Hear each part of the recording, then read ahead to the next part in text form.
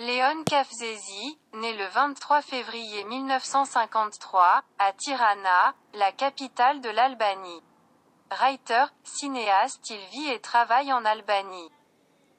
Fils de Nico et Amalia Kafzesi, Djeji, études au Ait Arte Institute de Tirana, 1974 à 1976. Depuis 1986 il travaille comme producteur, réalisateur, inspecteur de cinéma. Pour le nouveau studio de cinéma albanais, et ALB Film Distribution. Il travaille comme journaliste indépendant à Bashkimi, pour le journal de Tirana Skena DHE Ekrani et pour le magazine II dans le domaine de la critique de cinéma. En 1992.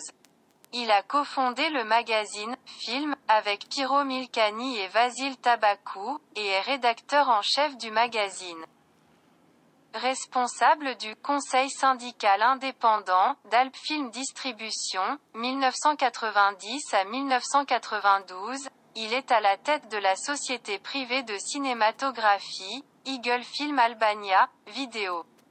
Jusqu'en 1993 à 1998, il a travaillé pour Albania Television, au département du cinéma, département de la programmation en tant que directeur de service, opérateur et journaliste.